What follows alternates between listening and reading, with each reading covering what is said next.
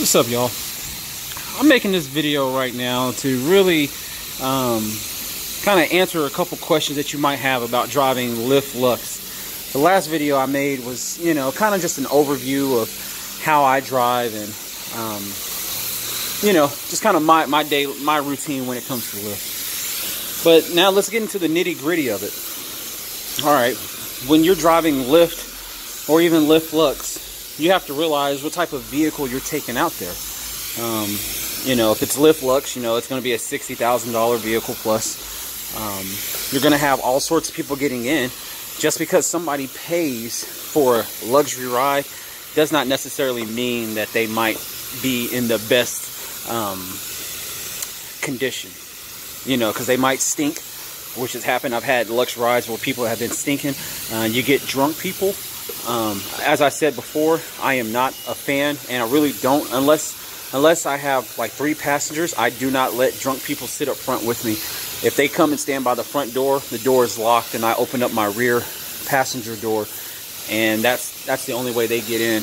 Um, I've had people um, picked up people from the casino, passed out drunk in the backseat of my car, and they wanted Lyft Lux. Well, these people are drunk and whenever you're drunk, you're turning, you know, drunk people are moving. I don't want nobody in the front seat with me um, when that's happening.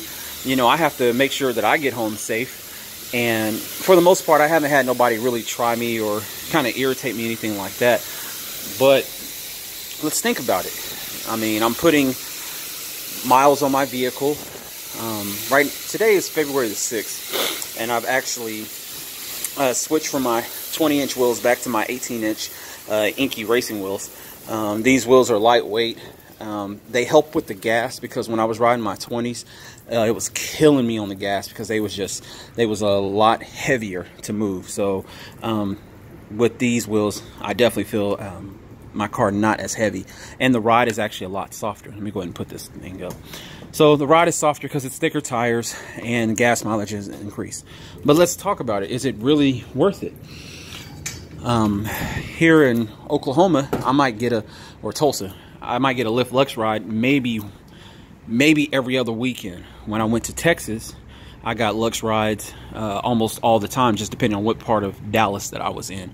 So really, I just got luxury rides in Dallas. I went down there to go visit some family and end up having some rides in North Texas. Those were actually okay.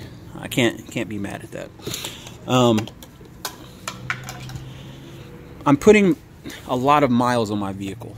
And um, of course, this is all by choice. I'm not blaming anybody.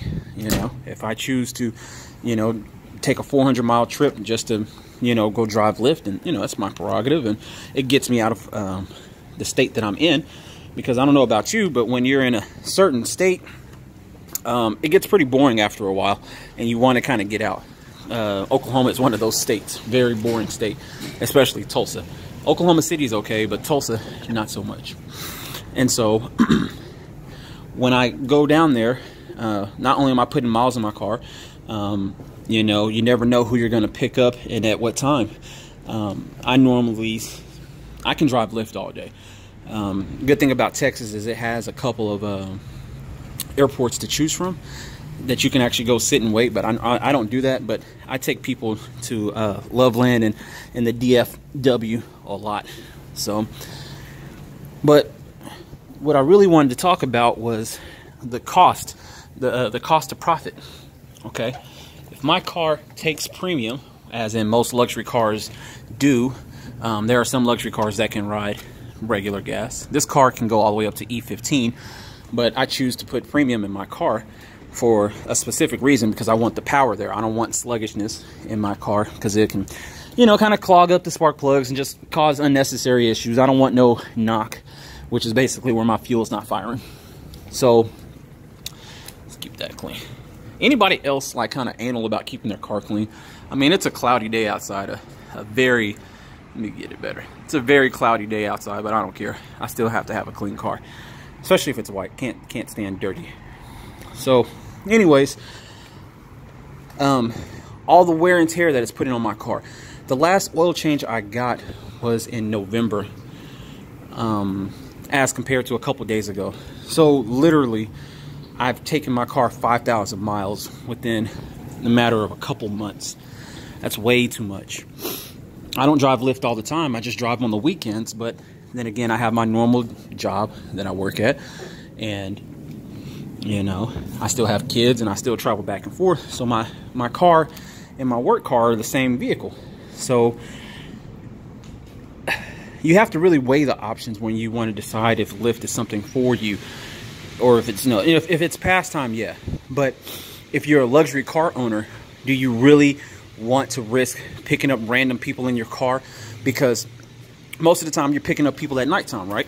So if you're picking them up at night more than likely they're going to be drunk or you can't see in the back seat. I don't know how many times i've gotten um, or i looked in my car in the morning after driving Lyft and I've seen nothing but mud all up in here. Like all up in my car. Let me change this. Sorry. I've gotten mud all the way up in my car before. And you would think people would be courteous enough to uh, wash their hands. They're not.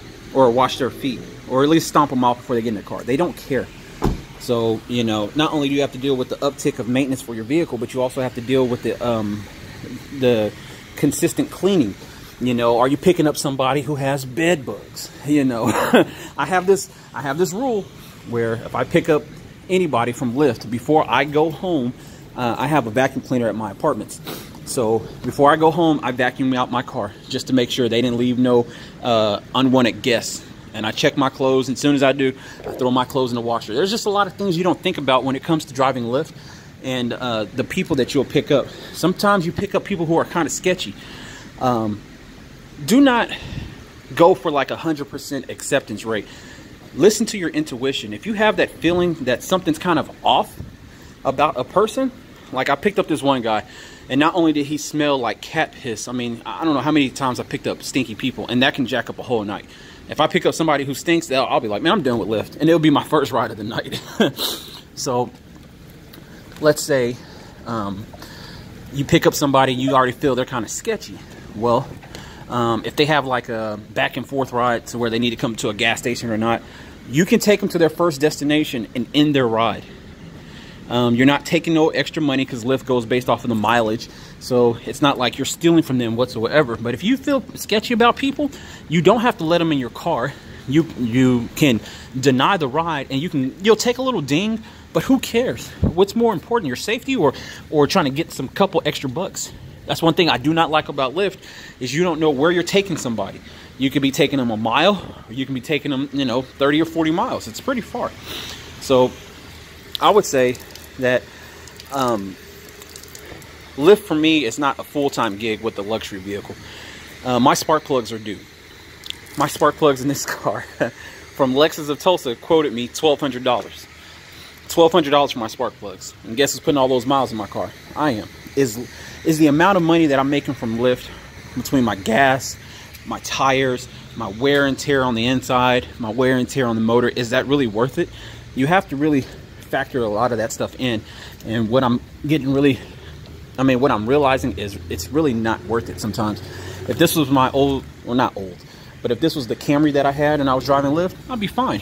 I mean, I still have a warranty on the vehicle, but just because I have a warranty on it doesn't mean I want to rush to get you know, to the miles where my warranty expires. You know, I still got to put gas in this vehicle. I still got to make sure that I'm doing everything what I can to maintenance my car. So I would just say that uh, if you do have a luxury vehicle, um, think twice about driving Lyft and about how you feel about certain strangers getting in your car. I'm telling you, you meet really cool people. You might learn some stuff from people around town uh, places you didn't know about. You might make either some good connections, but you can also pick up people who might have drugs on them, somebody who might have malicious intent. And I'm not trying to scare anybody, but I'm a big black dude with a gun in the car. I'm not worried. But for anybody else who's like, well, I can just go drive Lyft, uh, be weary of what you're doing and where you're placing yourself and what type of positions you are. So that's my little mm, 10 minutes on it. So uh, I'm gonna call that a video. Any questions, put them in the comments below, and I usually always answer them. All right, y'all. Peace.